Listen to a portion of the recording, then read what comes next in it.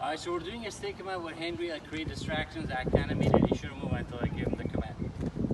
Stay. So watch, even if I act like a weirdo, if I jiggle the leash, he shouldn't move. if I spin the leash, he shouldn't move. He's like, man, this guy's a psycho. Even if I try to pull him, guys, a little pulling should not move the dog. Look at that. That's a solid stay. Release.